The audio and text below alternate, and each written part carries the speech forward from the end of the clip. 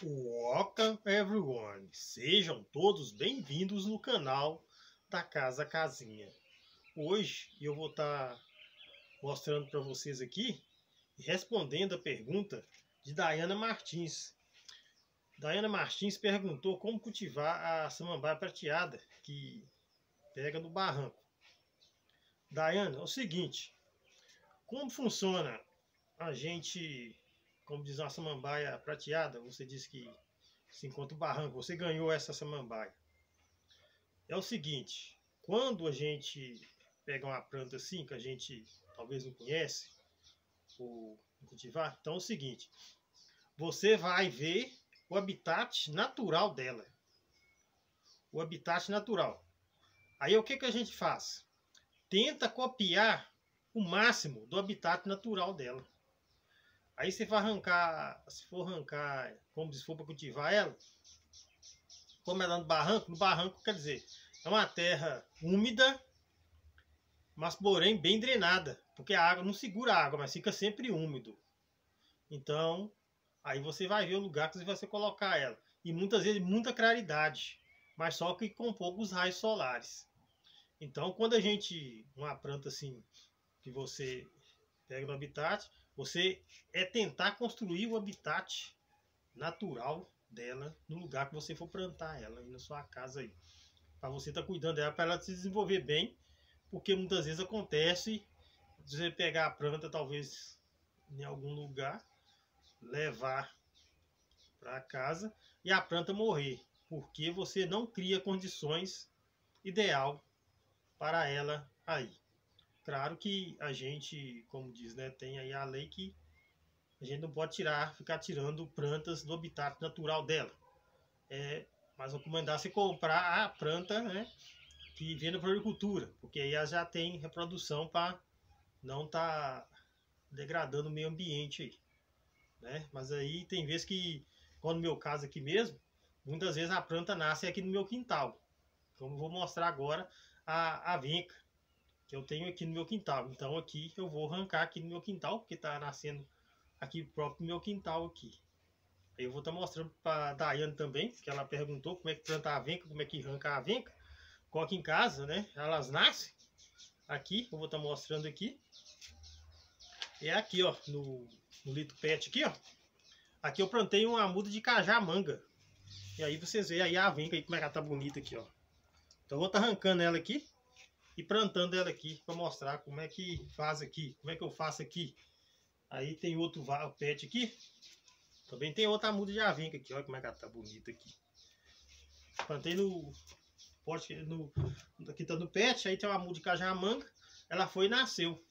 Então aqui eu vou estar tá arrancando ela para plantar no litro pet. Como eu não tenho vaso no momento aqui, eu vou estar tá plantando no litro pet aqui mostrar como é que você tira a, a muda de avenca aqui. E aí está a dica aí da samambaia prateada aí.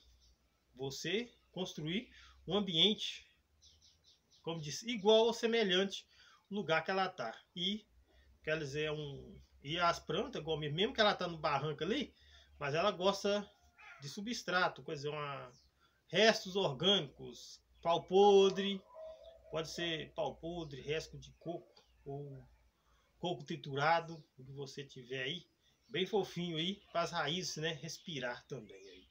Aí você pode estar tá cuidando e olhar o lugar que você colocar ela, ficar de olho nela, e que a pessoa te deu ela sempre dá com o torrão, né? Vem tirar com o torrão da terra, porque senão se tirar a raiz limpa pode estar tá morrendo também. Aí eu vou tirar aqui a avenca aqui, mostrar para vocês aqui, como é que tira aqui. Eu vou tirar aqui com a, com a faca aqui no pet aqui. Mostrar aqui como é que tira.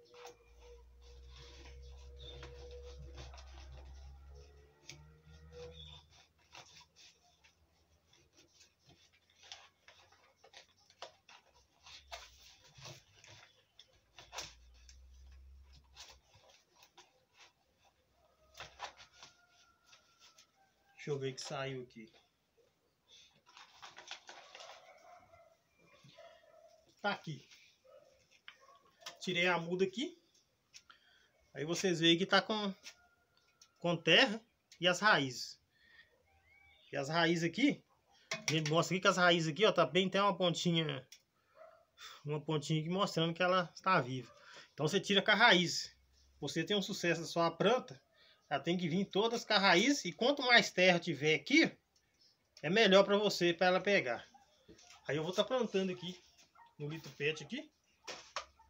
Um substrato bem fofo aqui. Precisa mais de um pouco de terra aqui. Tá plantando ela aqui. É bom você observar, plantar ela bem no meio do vaso.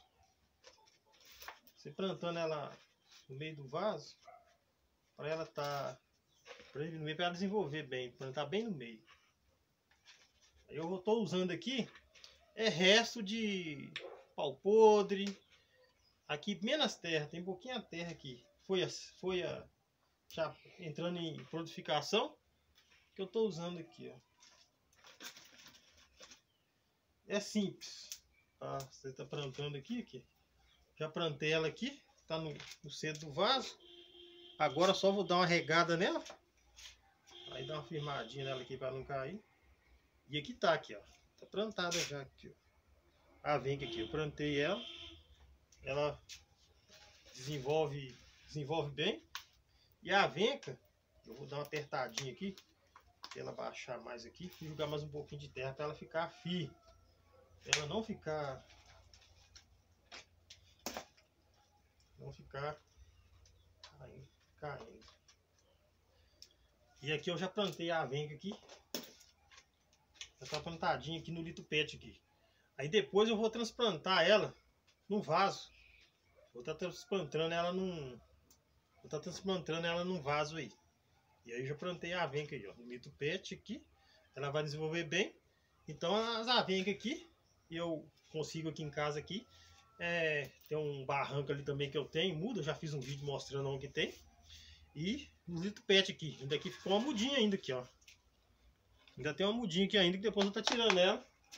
E essa outra aqui também, eu vou estar tá tirando ela depois aí, tá plantando aí. Eu mostrei aí. Então aí, Dayana tá aí. Comecei a plantar, é só regar a vinca, sombra, né? E regar. Ela gosta bastante mais de água, viu? Mais de água do que umas outras plantas aí. Se a gente ficar igual tem essas aqui, ó, plantadas aqui, ó. Eu drenei bem o vasinho delas aqui. Eu furei o pet embaixo aqui, ó. Se eu ficar uns um dia sem jogar água nela no lugar que eu deixei ela lá, a soia dela já se seca tudo. Já seca tudo porque faltando água.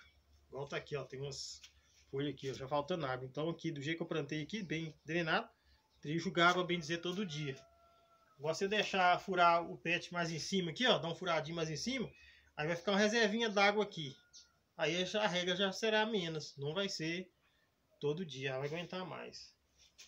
E aqui, do jeito que eu deixo ela, ela todo dia tem que jogar água, senão ela vai morrer e a soja vai murchar. Então tá aí a dica aí. Se tiver mais alguma dúvida, é só perguntar que a gente tá respondendo aí. Agora também tem uma pergunta aqui de Alessandra Souza. Qual o melhor substrato para samambaia de metro? O Alessandra Souza, o melhor substrato aí, tem vezes que você encontra na casa de na casa de ração aí, ou na floricultura, tem substrato aí para samambaia aí. Tem substrato para samambaia aí, aí tem que ser ideal para samambaia. Ou se não, também tem uns pacotes de coco que vem coco tritur, tipo triturado. Coco triturado, né? Antigamente usava-se o pó de xaxim, mas xaxim tá proibido, né? Comercialização de xaxim é proibido. Então já não tem mais aquele pó de xaxim aqui. Mas eu vou mostrar para você o que eu uso aqui, ó. Eu tenho esses, esses pedaços aqui de coco aqui, mostrando para vocês aqui, ó. Então esses aqui, ó, desceu aqui. Talvez aquele coco que tira água, que tira água, você leva, deixa no quintal no lugar, ele vai pro desce a, a casca. Isso aqui, ó, aí você pode mesmo com a mão ou com a faca e fazer isso aqui, ó. Você vai tá espedaçando ele, tá? Espedaçando ele em tamanhos menores para você tá fazendo aí o seu substrato aí. E também você pode juntar, você vai fazendo assim, igual esse daqui, ó. Esse aqui ficou bem bom para fazer o, A gente tá fazendo aí o fazendo aí, né, o substrato aí para samambaia. E eu tenho uma samambaia aqui que eu plantei ela aqui, ó. Eu plantei ela com fibra de coco com pau podre. Aí você também pode usar pau podre, que aqueles que moram aí no, no interior aí, né, mais perto aí do interior e conseguir um pau podre aí, você pode estar tá usando aí para estar tá fazendo, misturando. E aqui eu misturei pau podre com casca de coco. Casca de coco já desse jeito aqui, ó. Ela já secou.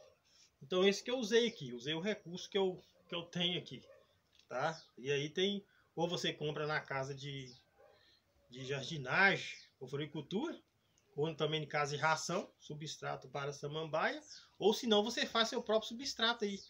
E esse substrato aqui que eu fiz aqui, ó, bem fofinho aqui, e essa samambaia que eu plantei essa daqui, tem dois meses que eu plantei ela, plantei ela sem folha, só o rizoma, e ela já tá saindo, saiu um broto, saiu uma folha, e agora tá saindo outra folha aí. Mostrando pra vocês aqui. Eu também fiz um vídeo dela plantando ela aqui, ó. Já tá saindo já, tá crescendo aí. Então você pode estar tá usando aí, ó, esse coco aqui, ó. Esse coco aqui para coco assim. Eu muitas vezes esse coco aqui eu deixo aí no quintal aí. Na hora que ele tá desse jeito aqui, mais podre aqui, eu tô usando ele. Hora que seca, né? Que seca a gente faz isso aí. Com ele pode estar tá usando aí para tá plantando a samambaia aí. E aí você fica bem fofinho. Aí a samambaia respira, ela desenvolve melhor. Aí a terra não vai ficar paçocada aí. Porque se for terra, vai empaçocar. Então, quanto menos terra, mais substrato, pau podre. Isso aqui, ó, você pode estar tá usando aí para plantar sua samambaia chorona de metro aí. Gostaria de agradecer vocês por estar tá assistindo esse vídeo aí. Aquele que gostou do vídeo, pode dar um joinha aí também pode se inscrever no canal. Thank you very much for White Cheese Variel. Muito obrigado por assistir esse vídeo. Até o próximo vídeo.